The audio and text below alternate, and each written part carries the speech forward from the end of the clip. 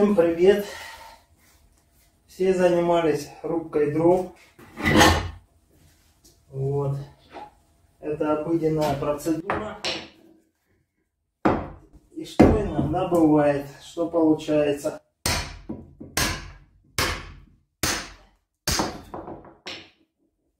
А получается вот что. Топорик начинает вылазить или какая-то ручка начинает вылазить.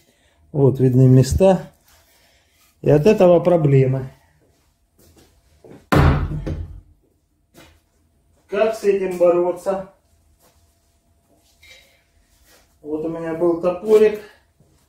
Да почему был? Он и есть. Уже старый тут. Скоро придется заваривать.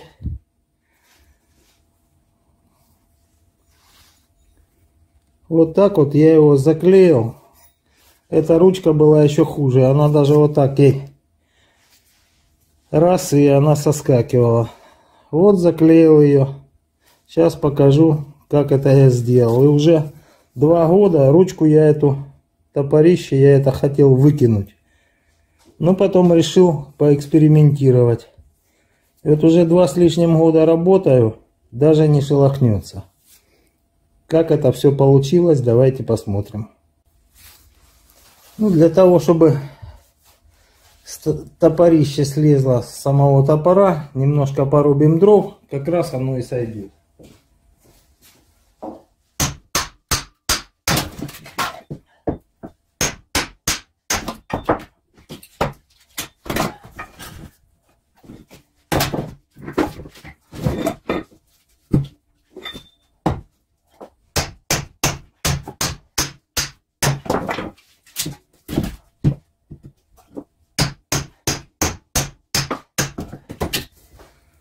Оно слазит. Тут уже оно начинает шевелиться. Топор с топорища не хочет сходить сам.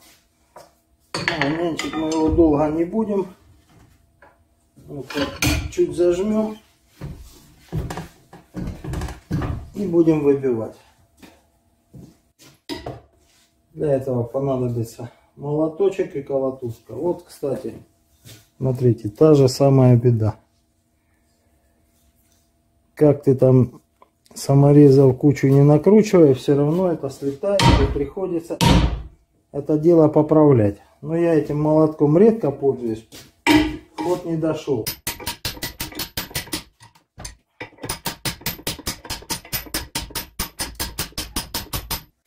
В итоге добились мы искомого. Топор, топорище. Вот клинышек металлический. Итого смотрим. В принципе, топорище, конечно, недорого стоит. Можно пойти новое купить. Но, судя по тому, как предыдущее у меня, вот он, предыдущий мой топорик, который я топорище хотел выкинуть, тут вообще было жуть. Вот так им потряс, и оно сходило. Я его тут отпиливал, оно было вот такое когда-то. Отпиливал, отпиливал, но тем не менее осталось. Что и как я делаю? Все просто и банально до смешного, а также дешево. Все можно сделать в условиях простейшей мастерской. Что для этого надо, я сейчас все покажу. Этих целей нам понадобится фен. У меня вот такой простой дешевый китайский. Естественно, тиски исходные. И вот такой термоклеевой пистолет. Тут у меня температурка регулируется. Вот он пытается начинать греться, входить в режим. Температурку в данном случае можно поставить чем больше, тем лучше. Цвет и клей, собственно, разницы не играет роли никакой. Какой у вас есть, таким и пользуйтесь. Пистолет входит в режим. Я ему тут градусов накрутил побольше, где-то 170. Нам понадобится кувалдочка потяжелее. Ну и начинаем. Вот здесь вот мы видим всякие кусочки треснутого дерева. Это даже неплохо, это даже хорошо. Начинаем потихоньку работать. Начинать будем вот отсюда, с топорища. Сейчас его будем прогревать и напичкивать клеем. Поехали. Потихонечку начинаем греть, прогреваем.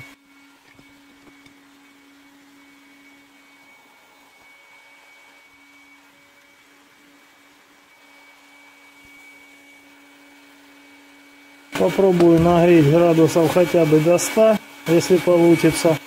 И можно уже наносить клей. О, греется даже больше. Ну, будем считать, что хорош. Наносим клей.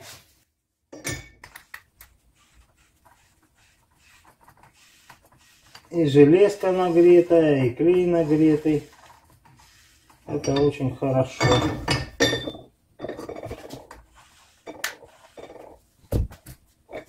Не знаю, будет видно или нет. Ну, вот примерно так.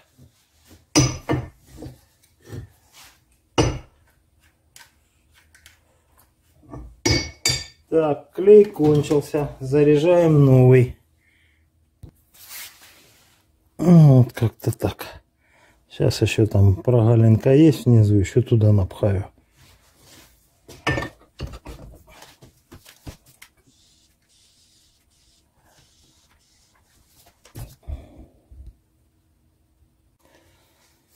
Прогреваем теперь вот эту железочку и набиваем.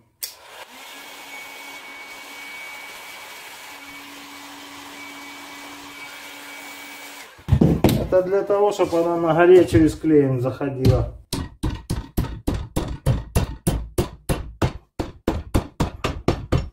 Вот так. Вот он такой же молоток. То же самое, только черным клеем был сделан. Уже не один год пользуюсь, вот ничего никуда не, не шелохнется. Вот он топор, с чего я начинал показывать. Вот эта ручка, топорище, надо было выкидывать. На нем просто вот так слетало. И все прекрасно работает. Такой вот метод просто легок в повторении. Это же касается и молотков любых, и всего. Вот, не надо покупать какие-то дорогостоящие клеи, герметик. Вот так вот можно. Фен, термоклей и все готово. Вот такой простой и легкий способ восстановить инструмент в нормальный вид. Ну вот настало время испытать, что я тут наделал. Я особо даже не чистил все эти остатки клея. Вот, сейчас посмотрим, на что, что из этого получилось.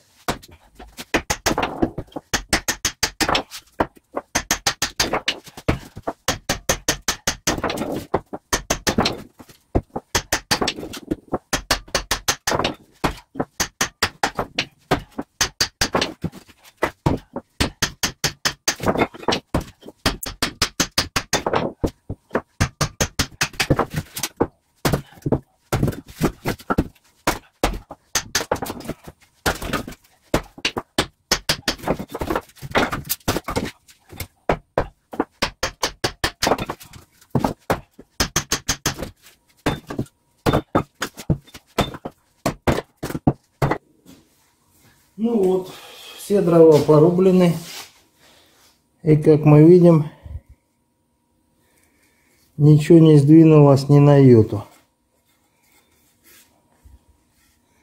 Все так, как и должно быть. Вот такой простой и легкий способ. Можно убрать все вот эти нюансы ненужные и спокойно работать. такую кучку я нарубал дров. С топором все в порядке. Вот еще покажу то же самое. Молоток года два назад сделан. Все время он у меня соскакивал.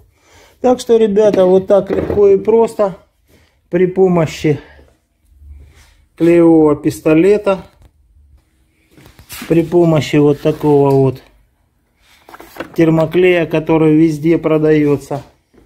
Ну и еще вон он фен валяется. Вот, можно легко и просто и молоточки подправить, и топоры, и много еще чего подправить. И будете работать в свое удовольствие. Вот очередной кандидат на починку. Как мы видим, он уже тут шевелится. Молоточек давнишний у меня. Карпоинт. Надеюсь, что видно. Хороший молоточек. Но он уже лет 5, 6, 7 работает и немножко устал. Еще более старый молоток. Я думаю, что на год или полтора. Днепродентовский.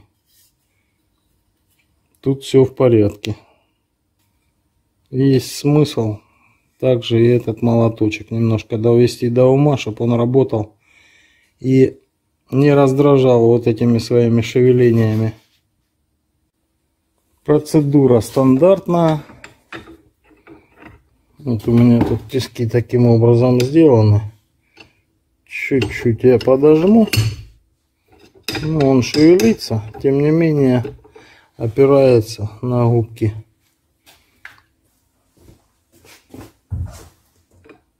Надо по диаметру подобрать то, что надо.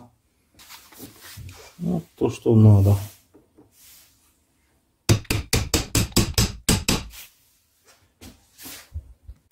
Пришлось поменять инструмент.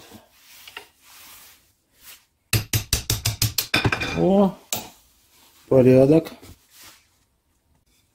Вот в итоге что мы видим.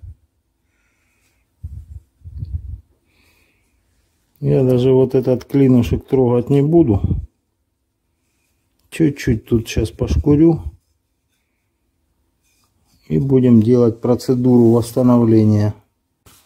Есть вот такая шкурочка 240 -ая.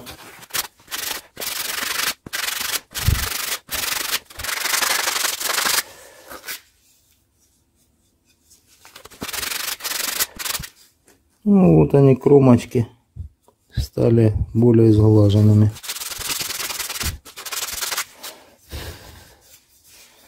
Вот отсюда я пластиковую насадочку снял дабы, когда будем греть, чтобы она не разрушалась, не деформировалась.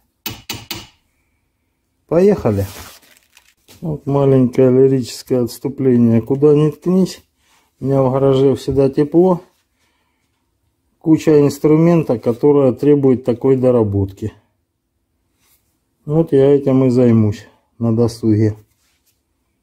Любимый мой пистолетик. Включаем. Сейчас он войдет в режим. Опять же, чтобы вот здесь было аккуратней, я подмотаю, наверное, здесь скотчем, дабы внешний вид не портить. А пока пусть пистолет входит в режим, нагревается.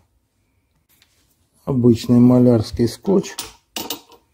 И по вот этой вот кромочке надо взять, закрыть.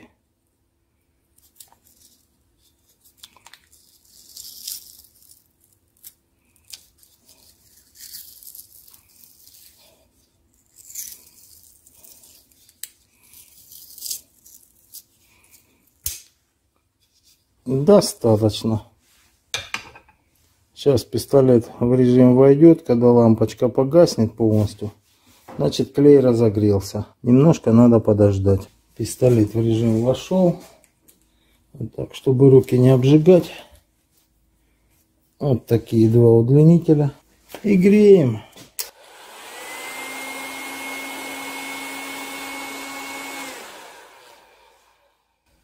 Кстати, вот эта насадочка плоская, она там прям с выборкой внутри. То есть она посажена на горячую видно.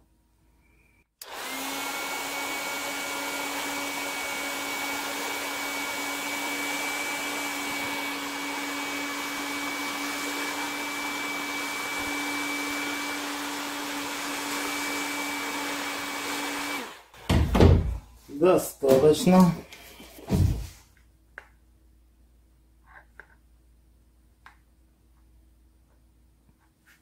Сильно много клея там не надо. Это все лишнее.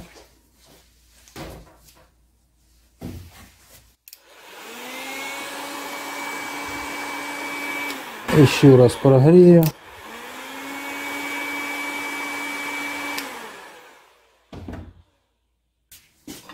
Теперь прогрею немножко ручку.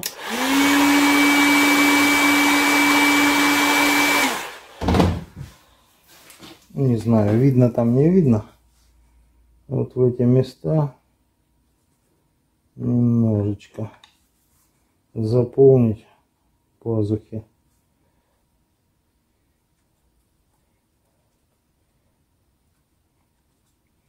Большого количества клея необходимости нет наливать.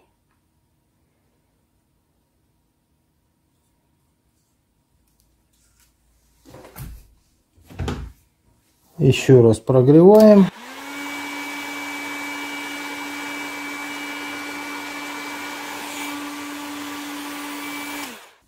Теперь переворачиваем и набиваем. Все, до упора. Лишний клей везде вышел, как мы это видим. И сейчас на горячую прям все это можно снять. И будет вот лишний клей у нас остался на скотче.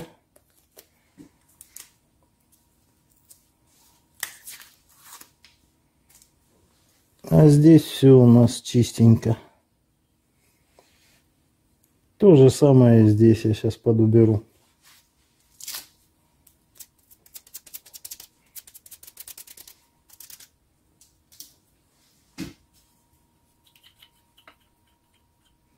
Чуть-чуть тут в пазах осталось, я сейчас закапаю.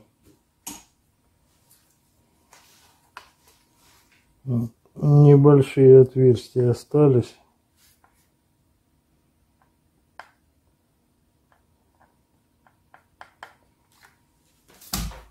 Теперь просто надо дать время, чтобы это все застыло.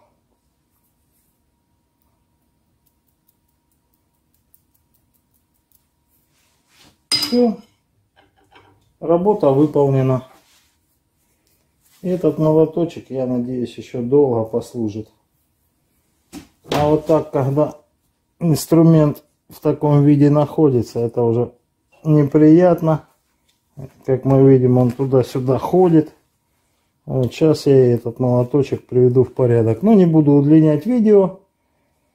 Уже понятно, о чем идет речь. И как этого избежать. И что это легко и просто делается. Так что ремонтируйте в свое удовольствие свой инструмент. Легко и просто.